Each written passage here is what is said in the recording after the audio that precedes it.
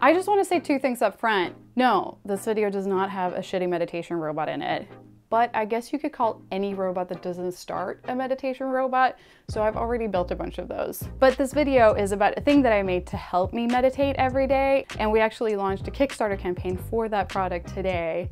And it's the first time I put something out there that I've made for people to buy, and I've been wanting to make real products ever since I was a kid, so it's huge for me.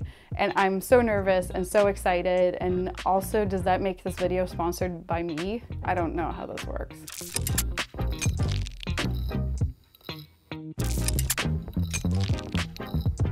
So about two years ago, I was starting to feel really burnt out because I'd been running my YouTube channel for a few years and all of the weird internet stress that comes with that was really starting to get to me, which also sounds like the most millennial health problem of all time. But I was really struggling with stress, as a lot of us are, and I decided to start meditating every day as a way to deal with that. And I kind of wanted to build like a gold star system for myself because I was a teacher's pet growing up. I love a good gold star. But also, I thought about other times in my life when I try to add a habit to my life or change something. And like week one, I'd always be like, I got this. And week two, you'd be like, I still kind of have it, but it's not as fun anymore. And week three, it'd be like, wait, what are we talking about now again? so I made myself this calendar. Oh gosh. Feels like bringing out an old book from a library. The thought was that every day where I did yoga and meditated for 10 minutes, I would get to flip the switch for that day as just like a little treat. And earlier this year, I started thinking about like, can I turn this into an actual product? And we put together a team of engineers and we made this. Did we just prop it up on a table with double-sided tape?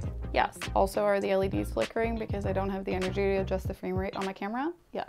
Those things are both true. I call this the everyday calendar and I use it for meditation and yoga, but you could use it for anything really, like any daily habit that you want to add to your life, like flossing or exercising or being smoke free or writing your journal or practicing an instrument or telling your parents that you love them. That's good, Mama Papa. And on days where you keep your habit, you get to tap that day and light it up. See? Just did it. Heck, you could even use it to track your period.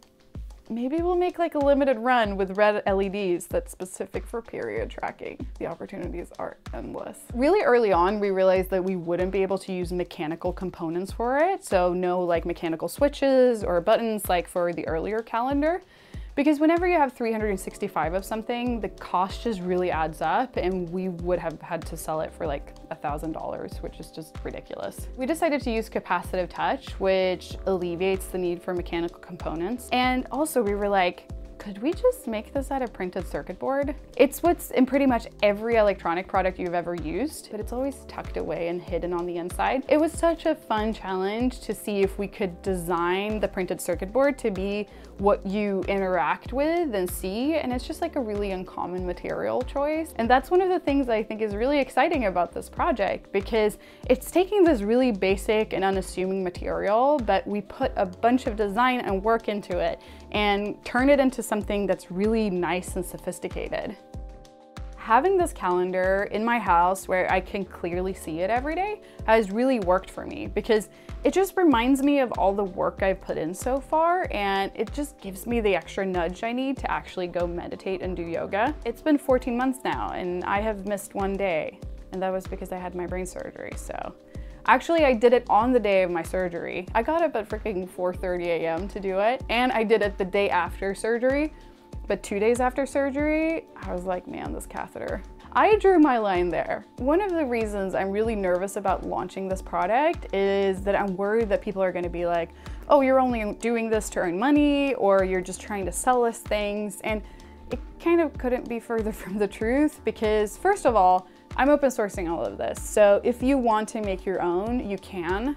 Also, I'm just investing my own money into it, and there's a high risk that I will just lose money doing this, but it's a risk I'm willing to take because I really believe in this and it's helped me a lot. As much as I love doing YouTube, I realized that I can't run a business that's completely reliant on me being healthy. Because if I can't be in front of the camera or on stage giving talks, everything stops.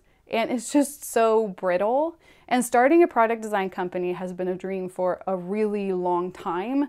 But also, I hope that it can make things a little bit more stable. And if there's a time where I can't do this type of work, things can still keep going. So I really hope you can understand where this comes from and that I have your blessing and your support in this. I couldn't do this without you, and I also wouldn't want to do this without you. So I really hope that you're along for the ride. There's a link in the description to the Kickstarter campaign. If you have a moment, please go check it out. I'll be over at Kickstarter biting my nails, and I really hope to see you there. Okay, bye. Also, you can use this calendar to stop biting your nails.